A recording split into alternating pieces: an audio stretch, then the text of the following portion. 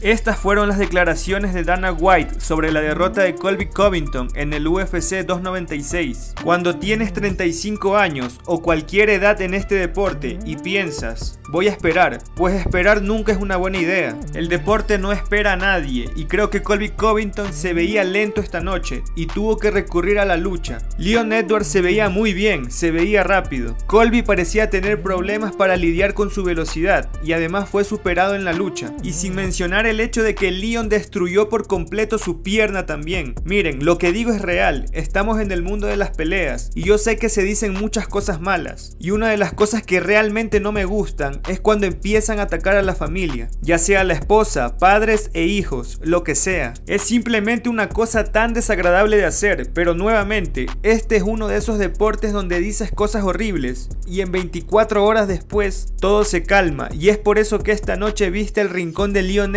Edwards volverse loco. Yo fui con ellos y les dije que ustedes ganaron de todas las formas posibles de ganar. Superaron a Colby en la lucha, en el striking lo dominaron por completo. Yo creo que la presión afecta a todos y estoy muy seguro de que Leon Edwards también tenía mucha presión, porque lo último que quieres es salir y perder ante ese tipo. Todos los peleadores lidian con la presión, pero Colby ya ha protagonizado combates importantes antes. Entonces, no es la primera vez de Colby. Él estuvo en peleas grandiosas y Colby se veía lento y viejo esta noche. Esa es mi opinión.